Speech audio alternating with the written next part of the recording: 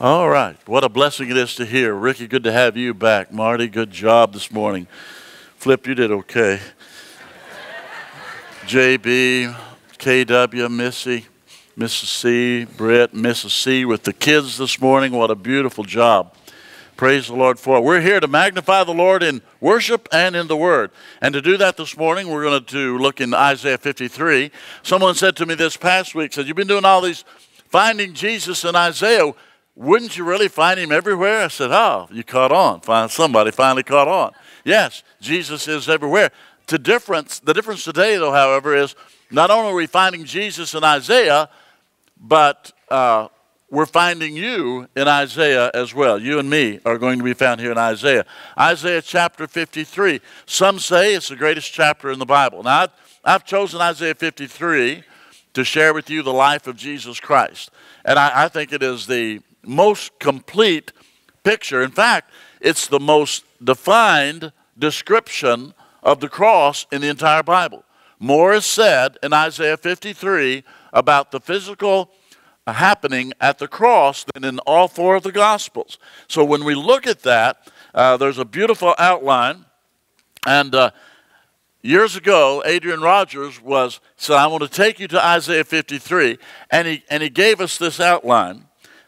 Jesus, the virgin birth, verse 1 and 2. Jesus, his virtuous life, verse 2 and 3.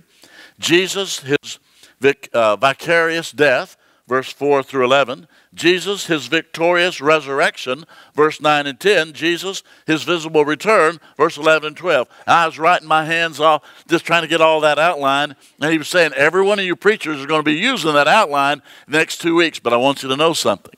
It's not mine.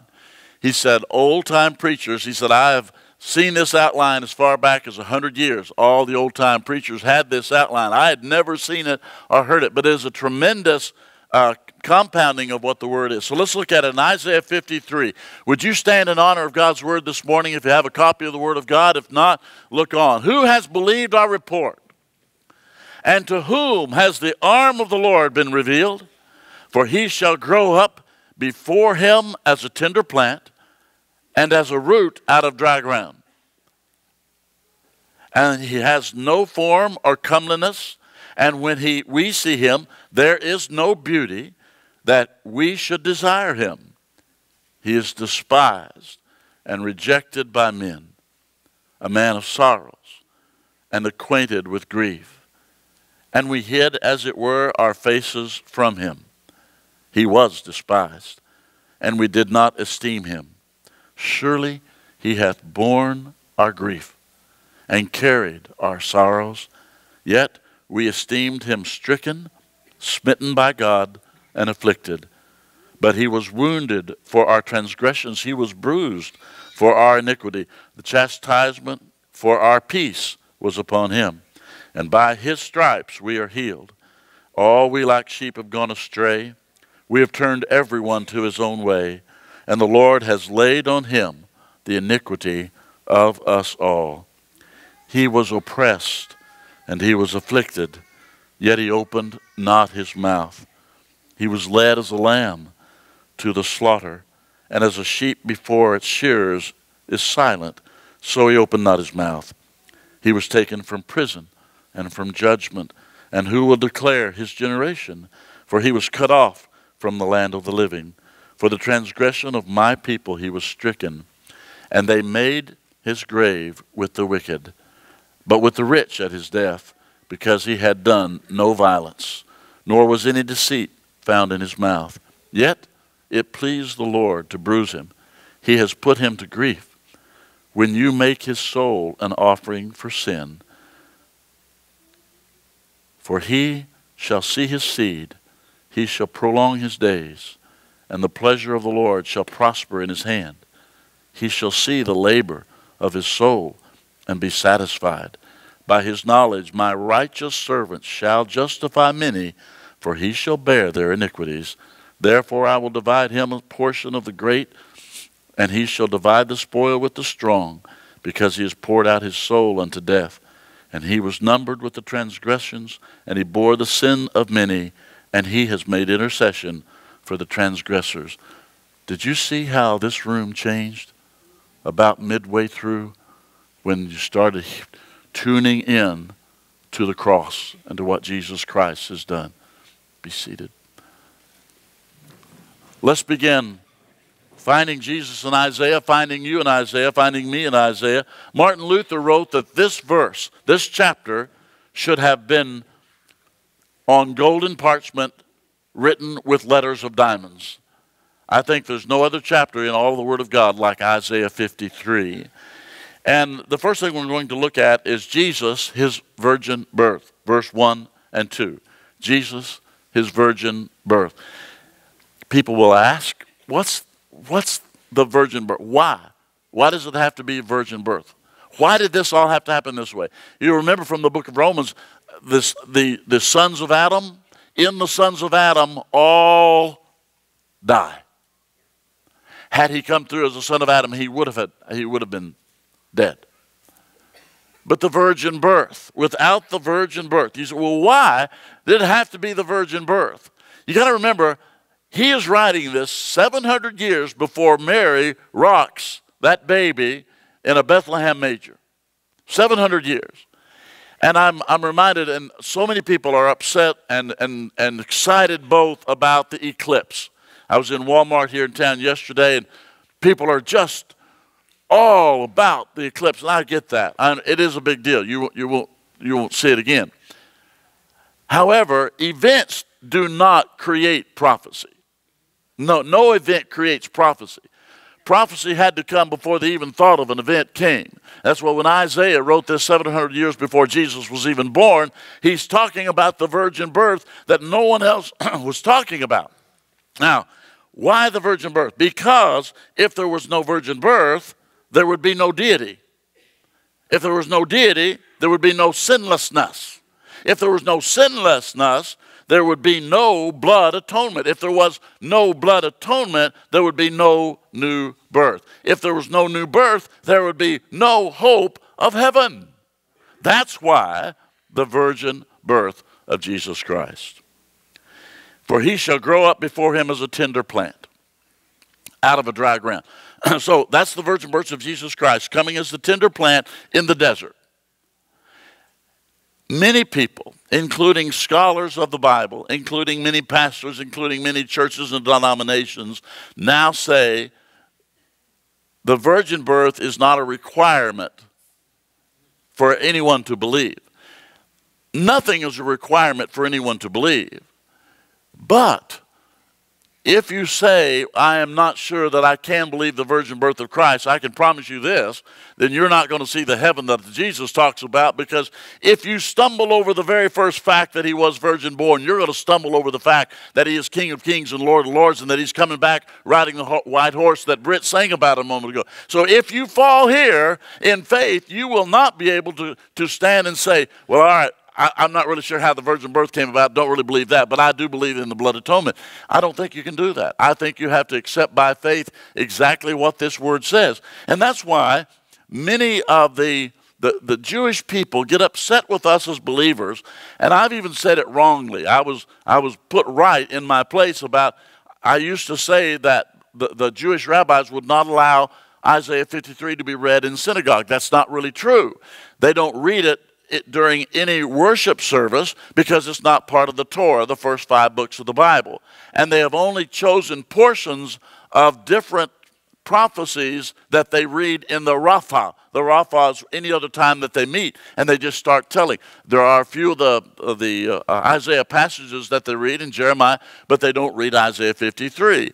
That's not their problem. The problem is they don't believe that's talking about Jesus. That's the problem. They don't have a problem with Isaiah 53 being true. They just say it's not Jesus. I'm telling you, if it's not Jesus, I have nothing to hang my hat on. I have no anchor for my soul. If this is not the most descript uh, personage of Jesus Christ in all the Bible, I don't know what is. Yes, it is speaking of Jesus and his virgin birth. Not only the virgin birth, though, but look in verse 2 and 3, it's Jesus, his virtuous life. He shall grow up. He has no form or comeliness, and when we see him, there's no beauty that we should desire him. He's despised and rejected, a man of sorrows. So it has this, this, this look what is a virtuous life? It simply is not stating that Jesus was difficult to look at, that he was ugly. Now, it is speaking of the cross because in Isaiah 52, verse 14, so his visage was marred more than any man. Yes, that is the cross. But his virtuous life was not that. It's just that he didn't stand out physically. You know, all the European painters, and that's what we have the pictures of in the Bible, all the European painters had him like he was just stepping out of the beauty shop. You know, long, curly, beautiful hair. Or if they don't have that picture, they have this, this light that's shining behind his head, looked like a big old dinner plate uh, standing behind his head. They have that, that so, so that they want you to see and say, and he was like three inches taller than everyone else. This says that his uh, particularly virtuous life had nothing to do with the way he looked. Look where he came from. Bethlehem was the least of all villages and hamlets. Came from the least, the smallest. Look at his family life. His daddy was a carpenter. He grew up regular. You would think, okay, God is coming down in the flesh. He's going to come in a jeweled chariot. He's going to come with thousands of thousands of thousands of angels. Revelation 20 talks about the angels, 10,000 times 10,000 angels. That's 100 million angels. He could have come with 100 million angels. But what does he do? He, he comes to a little smelly barn in Bethlehem. There's nothing about his uh, life being virtuous in how he looked. And that, in fact, it says there was no beauty that we should desire him and despise. He wasn't particularly uh, always known. You say, I, I'm not sure I understand that. Well, had he been the other way, why did Judas have to point him out? Do you ever wonder that? They're standing there in the garden. Why did Judas uh, look over there? That one. It's that one. Well, it was dark in the garden. See, this, this life being virtuous, he's a man of sorrows, acquainted with grief, and we hid, as it were, our faces from him, despised, and we did not esteem that despising. The best thing we could do was not make eye contact with Jesus then. The whole cross, everything about it, the virtuous life that he lived was not just about the cross, it was about everywhere that he went. He just did his thing. Being virtuous. What does it mean and how did he do it? Being virtuous was not about how he looked, how he sounded, how his voice uh, personified over the waters, how he did all that. It's just that he was himself. One of the most difficult things for us to do as believers is, is to be who God created us to be. Just be who you're supposed to be. Stop trying to be like everyone else. Nine tenths of all the problems with kids in schools would be eliminated if we could just teach them that they are uniquely created by God. No one else is going to be like them. Stop competing on every level about everything, about who's wearing what, and just be who you're supposed to be in Jesus Christ. That's what virtue is to be who you're supposed to be in Jesus Christ. But not only was there a virtuous life found there, but we see that uh, his vicarious death, verse 4. And this has the most uh, passages. Verse 4 Surely he has borne our grief, carried our sorrows. We esteemed him stricken, smitten by God, afflicted, wounded for our transgression, bruised for iniquity. Chastisement of our peace was upon him. By his stripes we're healed. Now we're, gonna, we're going to look at the, the uh, vicarious death. The word vicarious, if you look it up, you know what it means? In place of. His vicarious death means in place of. We'll use the word, as we do in modern English, of substitute. When I used to sit on the bench playing basketball uh, as a sophomore and a junior, we, I sat on the bench and I would sub in when the coach got mad at one of the starting five. And I would sub in. And I had to go to the scorer's table and said, I'm going in for 15. And, and, and then I would play. And about 45 seconds after he got through chewing 15 out, he stopped it again. I go back out. He subs in for me. A sub means I'm going to stand in his place. Doesn't mean I'm going to do what he did. I'm just going to sub in for him. That's what vicarious means. And now we find ourselves here because uh, in verse 4, he has borne your grief. He is smitten by your grief. He was esteemed, smitten. He was afflicted. He was wounded for our transgression. Everything about us is found here in the light of who we are as a sinners. His vicarious death became a substitute so that we might have life. Our life comes from the Father. Our, our eternal life is not one by which we have earned because of our virtuous life, but because of His vicarious death.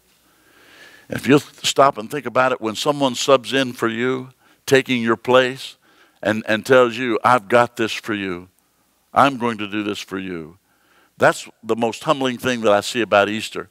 And I, I got a thing, an email all the time, but email uh, this week said, buy this package. It's $79.99. How to make your Easter service a wow factor. Only cost 80 bucks to figure out how to get Easter to wow. I'd like to know what they would do that's greater than the cross experience and three days in the tomb. I'd like to know how you wow factor that anymore. I'd like to know how, in fact, in factor the benefactor of that cross experience was us and how that could be any greater of a wow factor. And I don't know what that 80 bucks will buy you, and I'm kind of tempted. I'd like to know, but I'm sure it's just a curriculum that you lose and use and, and, and hold up. And I even thought the first time that I saw the empty tomb in, in Jerusalem over the bus, there's a great big bus station with 50, 100 buses down there, diesel smoke rolling up, and I'm looking at the tomb. I thought that would have some sort of a wow factor experience. But it really didn't. I looked in there, it was empty. There was a pastor who was touring Russia 30, 40 years ago, and he went to the tomb of Lenin and uh, these soldiers, and they make a big deal of it, how they look and all. And so the pastor asked this guard, What, what are you doing? He said, We're guarding our hero's tomb. The pastor said, Thank God nobody's got to guard my hero's tomb. He ain't there. Amen. Now, what, what wow factor are you going to put to that? when a believer understands that the vicarious death of Jesus Christ is the benefactor for us in that he subbed in for us. Boy, that should keep us in a way that we're humble, shouldn't it? The, vi- the vicarious death of Christ in place of.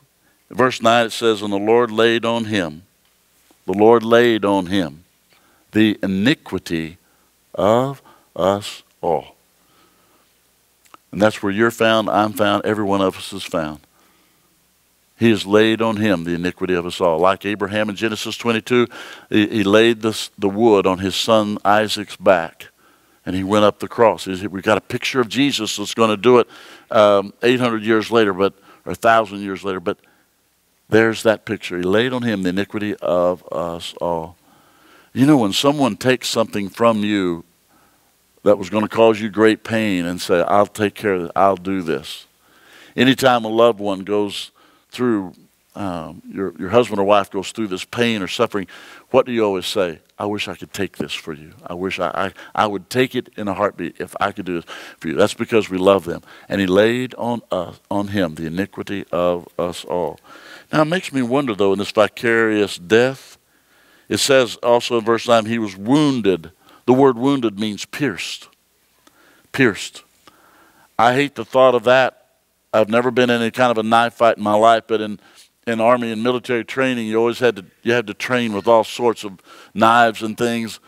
But the, the very the fact of being stuck with a sword or a, a, a spear is just quenching uh, to the spirit. The word wounded means that he was pierced for us. That's the vicarious death. And so we look at this, and I think about the Garden of Gethsemane, and all this month we'll be talking about it because this is the month that we, we, we try to lead up to the resurrection of all that happened to him. But the Gethsemane, the more I think about it, the more I am sad about what Gethsemane actually was. And he said, Father, if it be your will, let this cup pass from me. And so you, you wonder about the cup What's in that cup? What's in this cup? And why? It wasn't the physical death that he was afraid of. He was not saying, stop the proceedings so that I won't go to the cross. He wasn't saying that. He was saying, let this cup pass from me. What's in that cup? My sin, my transgressions, your sin, your sin, your, your, your, your. The cup gets larger and larger and larger. And, and the fact, the point is, every sin that's ever been committed and every sin that will be committed was in that cup. He said, Father, if it be your will, let this cup pass from me. Why? The weight of this cup is so large, it's so huge that what's in it is unbearable. What's in it is unbearable. This past week in the state of Illinois, a judge released a man who had raped a little bitty girl.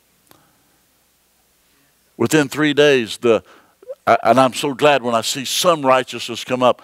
The state legislature had met and the state senate had met and took them three days. They came and got the judge out, kicked him out of his thing, took his robe off of him, kicked him out, and said, You are not worthy of a robe. Now, amen. Every once in a while, he did it right. You know why he'd let him go? Because he was a, he was a sodomite himself. He actually did not believe that this was a sin. That's, that's in the cup, folks.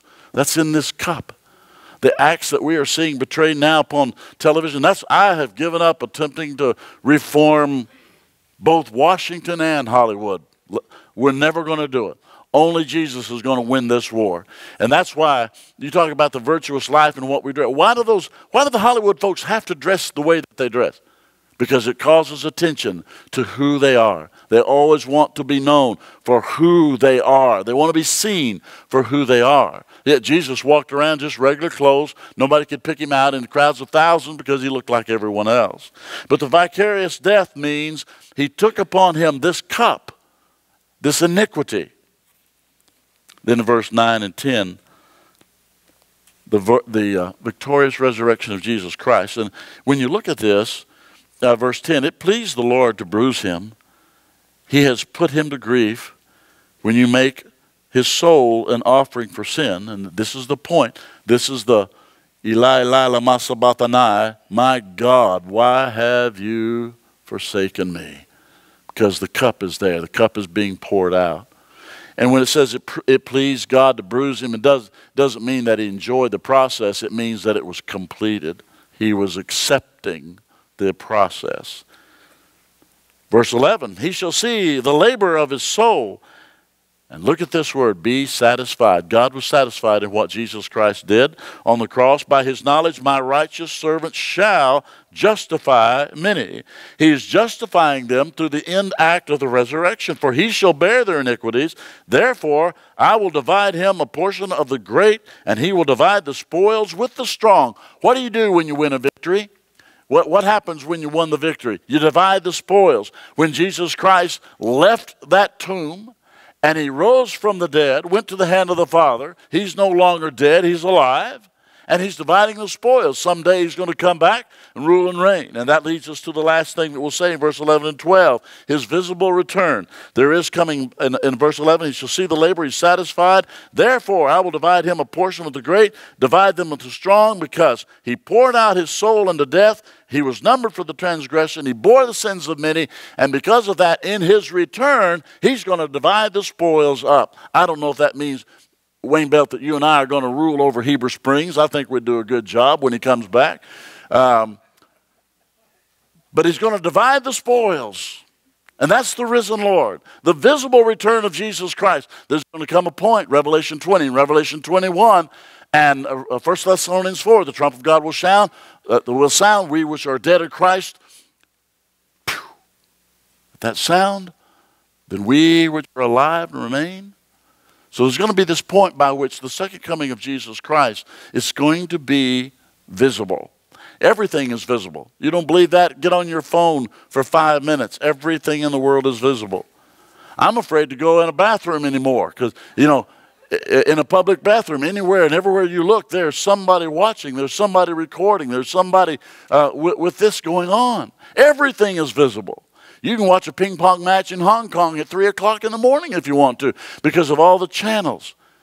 We don't watch TV anymore, we stream. And it's wild. We're paying money every month for different streaming services. There are hundreds of channel capabilities. I'm telling you, this is going to be a visible return. You're going to see it. In fact, every eye shall see and every ear will hear. This visible return. So there is a vicarious death in which he substituted himself for you. And this is now running over 2,000 years in which that substitution was made. There's about 6,000 years of known human history. When is he coming back? I don't know. What do you think that this, do you, do, do you think that the thing coming up on the 8th, the eclipse, do you think that has anything to do with it? I have no idea. I have absolutely no idea. The only thing I do know is that it will be visible. And hey, if it is on April the 8th, that would be a date that we all already know. I don't think it's going to qualify because it says that no man knows, even the Son doesn't know the time. So I don't think that qualifies. But what I'm saying is get your eyes off what's the world, what the world is positioning. Get your eyes off of the world, what it's saying. Get them on Jesus Christ because his visible return will be a visible one. His death is vicarious for you. His life was virtuous in that you don't have to be a big shot. You can just be a regular guy or gal and serving Jesus being you want to be. His birth was from the virgin. Wow. Isaiah 53 then is the most beautiful picture of who Jesus Christ actually is. Right here, stuck in the middle of the Bible, the most descriptive uh, personage of Jesus Christ is given to us. He was wounded for our transgressions. There's a verse I haven't mentioned by his stripes we're healed. I know that we love to use that. I quote it all the time by stripes we're healed. Many people have taken that off to mean one thing, only physical healing, but that's not what he's talking about. In its context, the stripe is being healed is for the cup of iniquity that was full, and the only way that could be healed was for the cup to be dumped, to be dumped out, and Jesus Christ become our vicarious death. We've all seen death. We've all experienced people that we've loved to die. And there's always a moment by which it's just really difficult. My wife and I were talking about grieving and people grieving just yesterday, and it's a process you have to go through. It's just something you have to go through. And if you refuse it, if you reject it, then, you don't understand. And, and we're still looking at this grieving, the experience of by his stripes we're healed. Yes, but what all happened in this, this thing with Jesus? We want to make so much of what happened to him that we forget the good part that is by his stripes we are healed.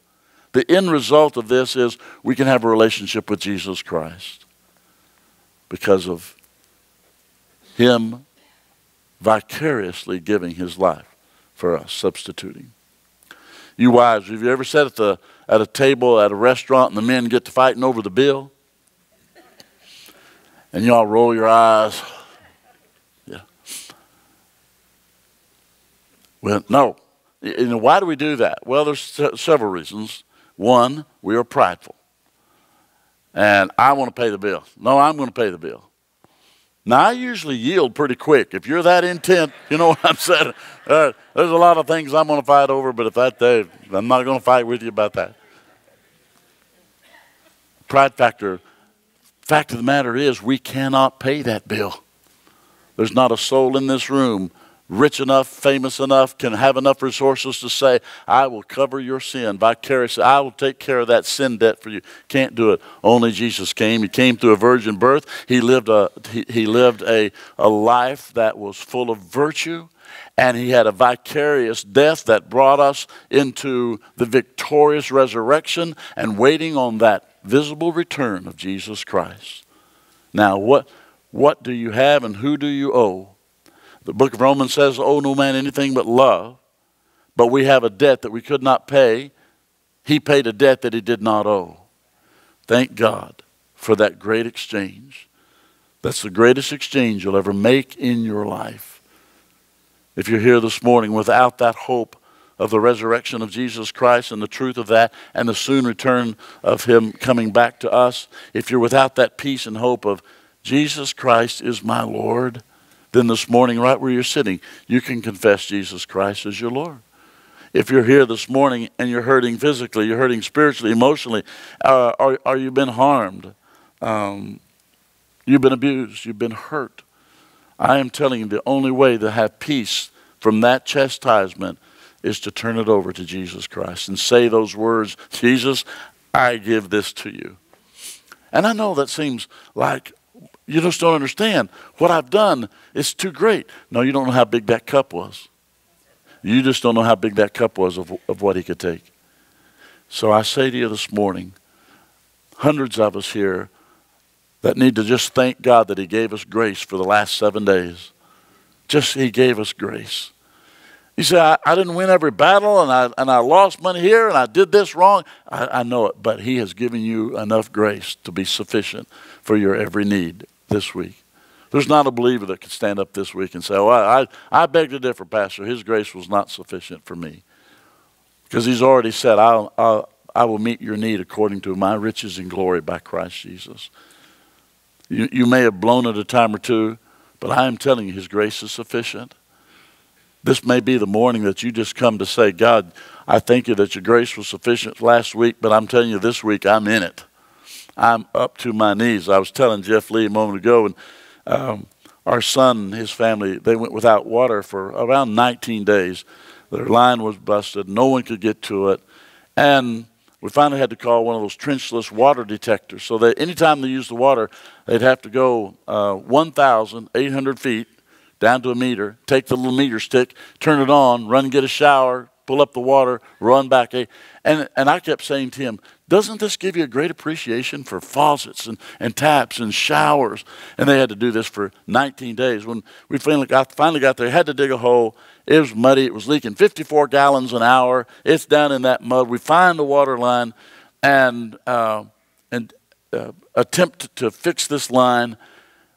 And I thank God that you know, even though he could turn the water on, turn the water off, turn the water on. Don't you just thank God when it's all fixed and you can run, take a hot shower, you can use water, you can waste water. We just take it all for granted. Everything we have, we just take it as, I deserve this. What? And, and I'm always surprised when people are surprised about life. I was, I, I was in a, a public restroom on Friday, I walked in there, and a man standing there with hands out, and they're both wet. And he just, it was just like he was in total disbelief that th- there were no paper towels. And he's just standing there. And I'm thinking, hey, partner, you can stand there all you want. It ain't. You might as well get your britches out and wipe them down.